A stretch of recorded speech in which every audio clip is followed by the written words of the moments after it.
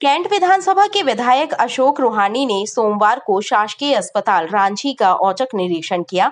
इस दौरान उन्होंने अस्पताल की ओपीडी सहित अन्य विभागों में जाकर मरीजों को मिलने वाली सुविधाओं की जानकारी हासिल की। इस दौरान उन्होंने अस्पताल में इलाज के लिए आए मरीजों से चर्चा की। मरीजों ने विधायक को जानकारी दी कि ओपीडी से डॉक्टर अनुपस्थित हैं, जिसे लेकर विधायक बिफर गए और उन्होंने तत्काल सीएमएचओ से फ़ोन पर चर्चा कर अनुपस्थित डॉक्टरों के विरुद्ध कार्यवाही कर करने के निर्देश दिए। और मरीजों का हालचाल जाना, उनको कोई असुविधा तो नहीं हो रही है? उसके बारे में उनसे जानकारी ली।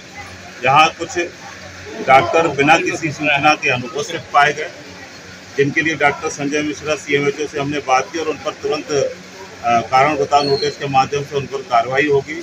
नर्सिंग स्टाफ पूरा पाया गया, अन्य कर्मचारी पूरे पाए गए, साफ़ साफ़ सफ़ाई व्यवस्था सही पाई गई, लेकिन जो डॉक्टर अनुपस्थित हैं और जो कमियाँ हैं, उनको पूरा करने के लिए हम doctor Sanjay Mishra C M और ऊपर हम बात करेंगे और इसको जो हॉस्पिटल सर्व सुविधा युक्त बनाने का जो संकल्प है, उसको हम पूरा करेंगे।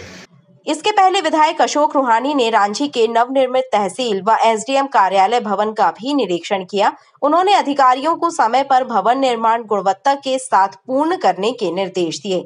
उन्होंने कहा कि नवनिर्मित तहसील और एसडीएम कार्यालय बन जाने से जनता को सुविधा मिलेगी और उन्हें राजस्व संबंधी कार्यों और योजनाओं का लाभ लेने के लिए लंबी दूरी तय नहीं करना पड़ेगी।